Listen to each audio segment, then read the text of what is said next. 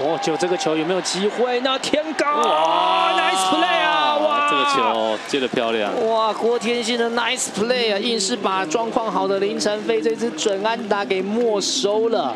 这没话说，掌声鼓励。的这个球员都帮对了对手掌声鼓励，这真的太漂亮、太精彩了哦。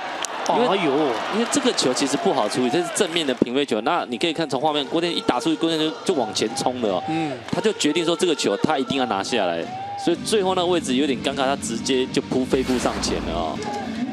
不过我觉得这样的状况啊，对于乐天来说会有一点压力，就是他的攻势很多，打得好，但你看只有一分的就只有一分。